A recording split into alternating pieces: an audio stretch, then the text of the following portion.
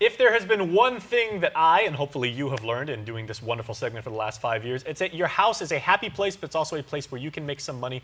And Liz and Gina are here from Remax Diamond Realty once again, and we are going to talk about kind of a continuation, right, ladies, on what we talked about Yeah. last. Sweet. We- We're talking about like encroachment and what you can't do outside That's the legal right. boundaries of your property. right. Yes. But maybe to segue into a new topic, what exactly are you able to do within that perimeter? Well, Yeah. if you're doing like a playground, it's not a problem, as long as it isn't something permanent, because there's certain permanent structures that would be um, allowed by law, you know, based on the Guam law. So if we talked about your back setback, you're looking at um, 10 feet from the backyard, the boundary point, to your back structure. So, and then from the front, you're looking at um, 15 feet, and then from the side, you're looking at eight feet. So, in the future, if you decide to sell, and let's say you extended your your walls from the side and you e- extended to add an extra room to the edge of the boundary point, uh, that's non-conforming. So it's not allowed by law to do that. Okay, you just used a word and you said permanent. Um, Gina, please jump in with this because I'm, I'm curious now as to what considers a permanent structure. Like, obviously, if I build like a ska- uh, skateboard half pipe, that can be broken down, that can Yeah, be it's- disassembled. it's- what if I do something like I, I trench into the ground or I dig or something like that, which, which, which will obviously change the constitution of the land? Well, well, when, when we're defining permanent, it's mm-hmm. something that's attached to the property, and has a permanent roof line, like it has a concrete roof. Mm. Mm-hmm. So if I make a we- tree house, that's okay. No. Uh, playground is okay. A Okay. tree house is okay, but is your tree house concrete? is it? Does it have a concrete roof, and is it built into the ground? Does it have footings that go into the dirt? I want to see the tree that can hold that up. We, we are way beyond Swiss Family Robinson at this point. way beyond. And, and we're talking about more. We're talking about permanent fixtures Okay. to the Fixtures, yeah. property. Like, for instance, um, we have individuals that. I mean, there's a lot of people that need extra storage. So perhaps you've built a storage building that's on your property. or like a tool shed, because my, my, my grandfather tool did that. shed. Yeah. Shed, yeah. But but I'm talking about a tool shed that has a permanent, like a concrete roof, concrete walls, concrete roof.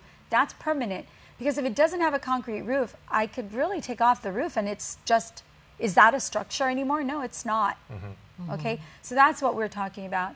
Some people have built generator rooms. So really, the law has addressed mm. these types of uses. Mm-hmm. Um, you know, the government has looked at that and said, hey, a lot of people have these uses then we're going to, they, they've created a law that allows those types of uses, but it's very, um, you know, the law has, um, it tells you what size the building has to be, where it could be positioned for it to be considered legal. Legal. Okay, That's one, right. one more question. Um, because again, I'm just thinking because my grandfather, when he was still alive, he didn't build a. a it was a concrete structure. excuse me. Not to be lived in, but it was one of those like old school Antigo.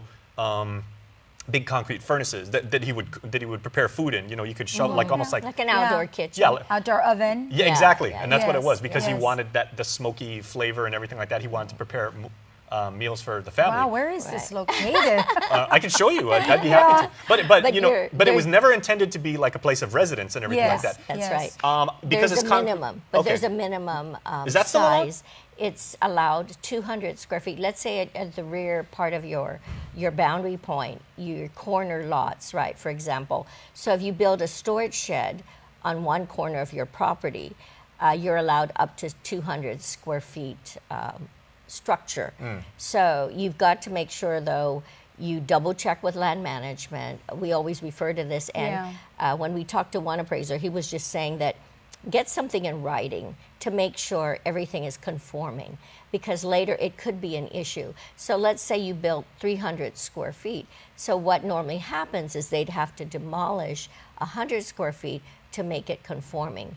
Now there are other uh, parts of the law that There's you know, other right, remedies. Mm-hmm. but the best thing to do is always check. Check with land management or give us a call, and then we'll guide you to the proper person that you can contact. Would just EPA to ever make come sure. into the into the picture? no, it would be land, land management. management because they govern what structures are there. Like like I said, govern sh- setbacks. setbacks, Because again, I'm. I'm thinking like if you do something infrastructurally where you're running lines for whatever reason, Yeah. or you put in like some pipe, or you know, you're, you're a techie like me, and you just want to be, Yeah. you want to be goofy, and you want to like change the complexity of your house. Well, when you're renovating, of course, a- again, if you extend your home, as long as it's within your your 10 foot marker from your back of your wall to the end of your boundary point, you just want to make sure you're within those numbers. Mm-hmm. You, That, you- you know, I think the issue comes into play when people do these extensions or mm-hmm. structures without the permit. that's right. So if you're getting a permit, the government will essentially tell you if you're if you're if the structure you're intending on building is going to cause the property to be illegal, they'll tell you. And is that because, Because- most most people default to the mindset of saying, "Oh, it's my property. I'm Yeah. not encroaching into my neighbor. I can do whatever I want. That's Yeah, exactly that's the it. I, problem. c- I can build 9,000 feet in, in straight up, or you know, as Straight long as I don't yeah. as long as I don't cross over." Or I could build from the side of my wall all the all way the way to my the boundary fence. point, Yeah. Mm-hmm. and, um, and it has happened. We've it- had it many happens quite families, often. yes, mm-hmm. Yeah. and especially when their family's growing, they want to give more room for the family, add an extra bedroom, but they should always check: is it conforming, and could it be an issue? And one of the issues that could crop up would be, let's say they're refinancing because they want to finance what they spent on the home. At that point, that would be a problem. So Okay. there are other factors that come into Mm-hmm. play. so basically, just check land management, or even better, just check with your realtor. We will guide you to the proper We'll guide person. you to the right right person to talk. Okay. Yeah. Yes, absolutely. Okay, well, it's it's almost dinner time. It's getting ready. Time to close. Can we, can you guide me to like go get a hamburger or something like that? I'm hungry. Mezcla. Mezcla. L- There you let's go. Yeah. Okay, we, we obviously have some work to do. I'm going to find out more about encroachment and what I can do with my property, and we'll see you next week. Okay, that's that's a guarantee. Shoot. Closed captioning is brought to you by IT&E. Explore your world.